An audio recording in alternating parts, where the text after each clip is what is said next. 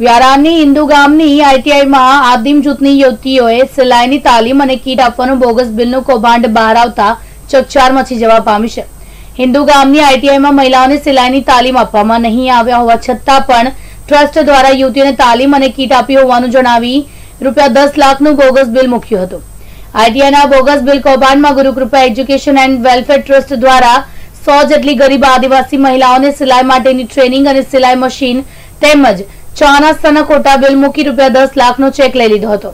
આઈટીઆઈમાં કૌભાંડ બહાર આવતા જ જિલ્લામાં અનેક બોગસ બિલ કૌભાંડ ચાલતું હોવાની ચર્ચાઓ વેગ પકડી છે.